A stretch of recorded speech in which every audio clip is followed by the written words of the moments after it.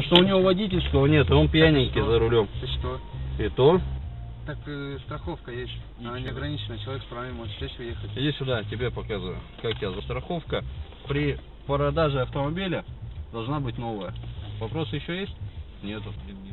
А документы здесь сейчас твои? Смотри, статья, по которой он идет, подразумевает задержание транспортного средства. Это мера пресечения административного наказания.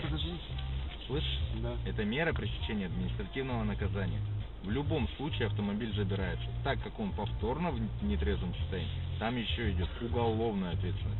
Машина 100% забирается.